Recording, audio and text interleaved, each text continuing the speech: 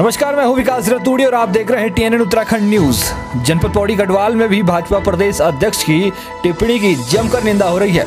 जी हाँ, आपको बता दें, भाजपा प्रदेश अध्यक्ष वंशीधर भगत द्वारा अपने एक कार्यक्रम के दौरान कांग्रेस की महिला नेत्री और नेता प्रतिपक्ष हिंद्रा हृदय पर की गई अभद्र टिप्पणी का प्रयोग किया गया। इसके बाद से ही भाजपा प्रदेश अध्यक्ष वंशीधर भगत की हर तरफ़ कड़ी निंदा हो रही है। सभी पार्टियों के प्रतिनिधियों ने अपने अपने स्तर पर भाजपा प्रदेश अध्यक्ष की कड़ी निंदा करते हुए कहा कि भाजपा को उनके इस तरह की अभद्र भाषा का प्रयोग करने पर उनको पार्टी से निकाल देना चाहिए। आम आदमी पार्टी के प्रदेश प्रवक्ता आशुतोष नेगी ने बताया कि उत्तराखंड निर्माण में महिलाओं की महत्वपूर्ण भूमिका रही है और आज भाजपा प्रदेश अध्यक्ष की एक महिला पर इस तरह की की गई अभद्र टिप्पणी निंदनीय है और पार्टी को तत्काल प्रभाव से उनका निलंबन कर देना चाहिए। वहीं दूसरी ओर यूकेडी की जिला अध्यक्ष पूनम टमटा और वरिष्ठ कांग्रेस नेत्री सरिता रावत ने भी भाजपा प्रदेश अध्यक्ष के बयान की कड़ी निंदा की है और भाजपा हाईकमान से उनके निष्कासन की भी मांग की है। मेरे संपर्क में अरे बुढ़िया किससे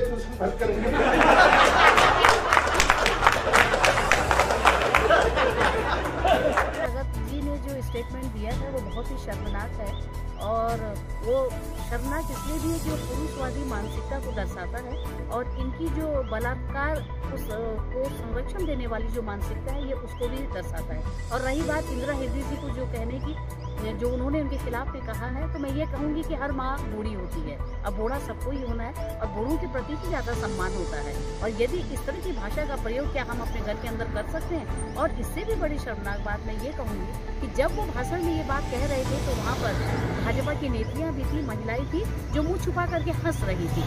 एक महिला के अपमान में जो वो हंस रही थी तो ये लग रहा था कि उन्हें भी शर्म आ रही है। तो मैं भारतीय जनता पार्टी के शीर्ष नेतृत्व से ये कहूँगी, ये निवेदन करूँगी कि आपको इनका इस्तीफा ले लेना चाहिए, इनको तुरंत पद से हटा देना चाहिए और किसी दूसरे व्यक्ति को जिसके अंदर महिलाओं के प्रति सम्मान हो, उस व्यक्ति को पद पर बैठाना चाहिए।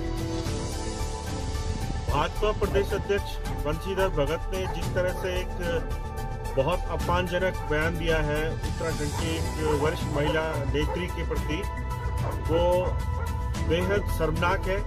और इसके लिए उन्हें तुरंत अपने पद से हटा दिया जाना चाहिए।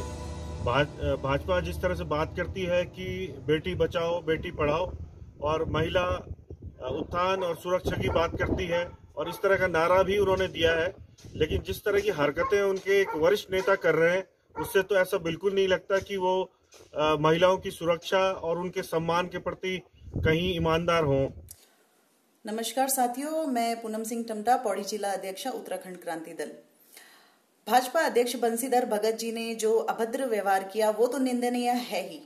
लेकिन उससे भी ज़्यादा कड़ी निंदा और कड़ा विरोध मैं भाजपा की उन महिला नेत्रियों का करती हूँ, जो उस वक्त, उस दौरान वहाँ पर मौजूद थी और हँसी ठिठोली कर रही थी।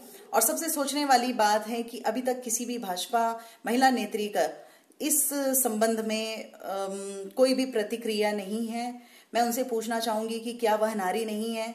हमें ये नहीं भूलना चाहिए कि हम एक पदाधिकारी होने से पहले और एक किसी भी दल के सदस्य होने से पहले एक महिला है। टीएनएन के लिए पौड़ी गढ़वाल से भगवान सिंह की रिपोर्ट। जय